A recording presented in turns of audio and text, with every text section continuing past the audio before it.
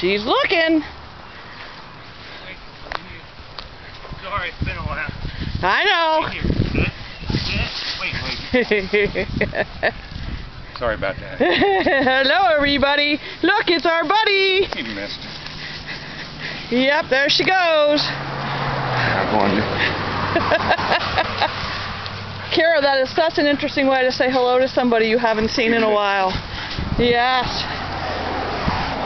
Was either we've run out of time or it's been too hot for us to do this route. But today, I said, hey, let's go this way. Maybe Blaze will be out. I know he's missed you. Aiden just asked about it. He said, I wonder if, if everything's okay. And oh, yeah. Hi there, fella. You're such a big, cute teddy bear. You're not really a Mally boy. You're a teddy bear. Yes. I had to cut a bunch off of his tail.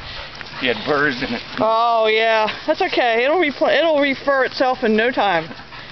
Right, Khyra? So you're just one giant walking. Yep. He is so happy.